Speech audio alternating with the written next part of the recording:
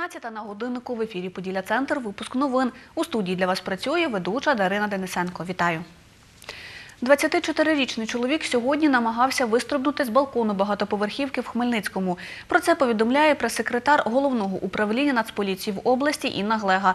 За її словами, вранці на лінію 102 надійшло повідомлення про те, що на балконі восьмого поверху будинку, що на Старокостянтинівському шосе, місцевий житель має намір покінчити життя самогубством. Патрульним вдалося відмовити чоловіка від стрибка. Його передали на обстеження медикам. Інна Глега додає, мотиви його вчинку встановлюються. Реставрацію фігур авторства Миколи Мазура розпочали у парку імені Тараса Шевченка, що в обласному центрі. Підрядником стало вище професійне училище номер 11. Про це розповів начальник міського управління житлово-комунального господарства Василь Новачок. За його словами, вартість робіт становить 200 тисяч гривень. Як відбувається процес, бачила Леся Боровець.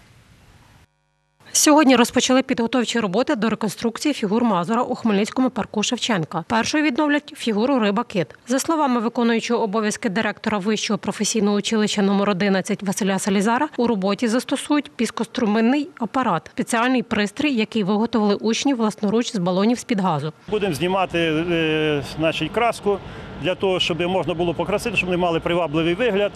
І разом з тим будемо е, проводити зварювальні роботи, ремонтні роботи. Ми будемо е, їх е, і ґрунтувати, і красити е, автомобільними красками, такі, що вже на довготривалий період будуть експлуатуватися і не будуть потребувати ремонту. Анна Мостовік з п'ятирічною донькою приїхала до батьків з Полтави. На її думку, фігури варті реконструкції, але свою доньку Лізу вона туди не пускає, бо не впевнена у їхній безпеці. Ці фігури вони дуже відрізняють наше місто від інших, е, тому що я не бачила в інших містах, де була такі гарні фігури. А з іншої сторони, це ну я вважаю, що це більше для дорослих дітей. Це можливо для дітей вже з 10 років, які більш обережні. е, А для маленьких дітей то це трохи небезпечно. В парках має бути безпечно для дітей. Знайти підрядника для реконструкції фігур Мазура в парку Шевченка було проблематично. Про це каже начальник міського управління житлово-комунального господарства Василь Новачок. Робота не дуже прибуткова, і е, ми маємо проблему з тим, щоб знайти підрядну організацію на виконання тих робіт. Е, Торік е, підрядник, який виконував роботи в парку Чекмана, відмовився робити цього року. Зараз е, попросили 11 училище. Цього року на то виділено 200 тисяч гривень. Е, Розпочнемо з е, двох фігур е, е, риба, кит і бабка. Е, І, е, в принципі, якщо буде е, можливість надалі підрядної організації, то будемо продовжувати інші фігури. За словами Василя Салізара, цієї суми недостатньо, оскільки в процесі роботи виникають незаплановані витрати. В процесі роботи виникають ще інші такі моменти, де виявляється вже надто пошкоджені деталі, надто пошкоджені елементи цих фігур, які потрібно вже відновлювати, десь щось відточувати, десь щось е, вирізати на плазміній рисці. І я думаю, що ми з цією роботою справимося. Виконувати будуть її майстри виробничого навчання. Разом е, будуть приймати участь е, наші учні. Василь Салізар каже, майбутні випускники виконують переддипломну практику рихтувальника кузовів автомобіля. Реконструкцію фігур Мазура в парку імені Тараса Шевченка планують завершити до середини червня цього року. Леся Боровець, Юрій Чорний. Новини Поділля Центр. Виставка картин із назвою Карпати Плюс відкрилась у Хмельницькій дитячій школі образотворчого та декоративно-прикладного мистецтва. Її автор київський митець, заслужений художник України Василь Красьоха. Це його 15-та виставка в Україні. До експозиції входять 43 твори. Присвятили виставку Великодню. 20 живописних робіт із серії Карпати та ще 23 твори, до яких входять 5 портретів монахів і монастирі, які розташовані на горі Афон, представив хмельничанам заслужений художник України Василь Красьоха. За словами мистецтвознавиці Людмили Рожко Павленко, у автора є своє бачення при створенні картин. Мені здається, що живопис е, Красьохи настільки яскравий, соковитий, колоритний, він в найкращому сенсі виражає власне оце поняття живописати. Тільки в українській мові оце слово перекладається так: живопис. Тому що е, в- повне враження, що він зараз і тепер тільки закінчив свою роботу. А ще мистецтвознавиця відмітила почерк митця. Художник використовує як техніка, це звичайно олійний живопис, але він виконує його переважно на картоні, але є і роботи виконані на полотнах. Я можу десь простежити його е, манеру, яка е, ну. Пов'язана з імпресіонізмом, тому що власне вони е, писали е, чистими відкритими кольорами, які потім в нашому оці на певній відстані змішуються і е, роблять різні відтінки. За словами автора виставки Василя Красьохи, на Грецькій горі Афон побував тричі. Вдалося відвідати багато монастирів, з яких зобразив 12. Я пройнявся, пройнявся тим таким благодаттю такою першу чергу. Потім побачив, це красиво, це ж, це ж архітектура, це ем, такі історичні е, пам'ятки. Там святині, е, там е, дух оцього православ'я. Це Візантія. Це 12-13 століття.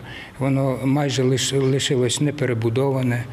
Е, Сама інтер'єри дуже цікаві, там мозаїки, там ікони чудотворні, е, розписи. Завершує експозицію картина Лядово скельний чоловічий свято Іоаннівський монастир, що на Хмельниччині. Василь Красьоха написав цю картину на прохання доньки. Їдемо в Лядово, їдемо в Лядово, там таке місце, я не знав навіть. І це відкрилось, і ми там декілька днів були, була чудова пора, осінь, е, намалював. Це як е, е, Подільський Афон. Експозиція триватиме до 10 травня. Тетяна Ворожцова, Дем'ян Цегольник, новини Поділля, Центр. 70 школярів області сьогодні змагаються у конкурсі писанкарства в обласному центрі науково-технічної творчості учнівської молоді. Від кожного району, міста та об'єднаної тергромади участь беруть двоє представників. Як відбувається творче змагання писанкарів, дивіться у сюжеті. Конкурс складається з двох частин. Перша виставка конкурс виконаних удома великодніх композицій, в яких обов'язково мають бути подільські писанки. Член журі Світлана Делікатна каже, Хмельниччина не лише Поділля, а й Полісся та Волинь. Проте учасники мають дотримуватися правил написання саме подільської писанки. Подільська писанка вона стримана в кольорах. Вона на собі має червоний, чорний, злегка десь трошки жовтого, блакитного зовсім мало в нас. Подільській писанці блакитний колір не притаманний, і десь є трі- трішечки зеленого кольору. Тут мета конкурсу це збереження традицій. Нічого проти авторських писанок ми не маємо, але вимоги конкурсу це представити Поділля. Оцінюють представлені композиції три члени журі за чотирма критеріями. За чистотою виконання, за складністю орнамента, за відповідністю традицій і е, оригінальність композиції. Ось. Голова журі Валентин Ільїнський каже, від попереднього конкурсу писанкарства минуло два роки, і за цей час рівень писанкарства серед школярів зріс. 68 чоловік. Це е, досить е, е, багато учасників, і коли ми аналізуємо їхні попередні роботи, попередньо домовиконані і створені композиції, ми просто в захваті і говоримо, що оцінити уже і визначити переможця сьогодні буде не так легко. Члени журі ще на етапі огляду композицій вирізняють деякі з них. Дуже чудові роботи Стара Константинова. Це конкретно подільська писанка і дуже майстерно виконана. Е, Подобається як композиція оформлена, тому що поки що ми журимо композицію. Подобаються мені роботи зіньковські. Там традиційна подільська писанка, і саме притаманна нашому регіону. Друга частина конкурсу створити писанку лише за пам'яттю, без жодних підручних підказок на все три години. Мені навіть, напевно, години хватило. В голові вже якось складаються візерунки, які я хочу нанести своїми руками. Зараз в області діє 32 гуртка, де школярі займаються в тому числі писанкарством. Серед них один народний колектив з Дунаєвецької ОТГ та один зразковий зі Старокостянтинова. Керівник художнього гуртка з Нової Ушиці Лариса Залісна каже, писанкарством будинку творчості школярів з неї займається дві групи по 15 дітей.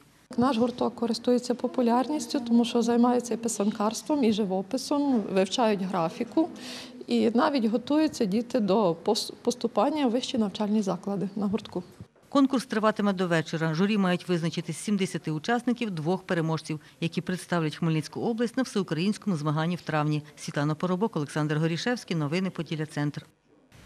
Хмельничани Віктор Петров та Марія Боруца здобули медалі на міжнародному турнірі з боксу, який відбувся у Сербії в місті Белград. Про це повідомив тренер Андрій Чумаков.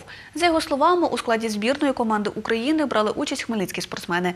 Віктор Петров здобув перемогу та отримав золото цього престижного турніру у ваговій категорії 69 кілограмів. Хмельничанка Марія Боруца здобула бронзову нагороду у ваговій категорії 75 кілограмів.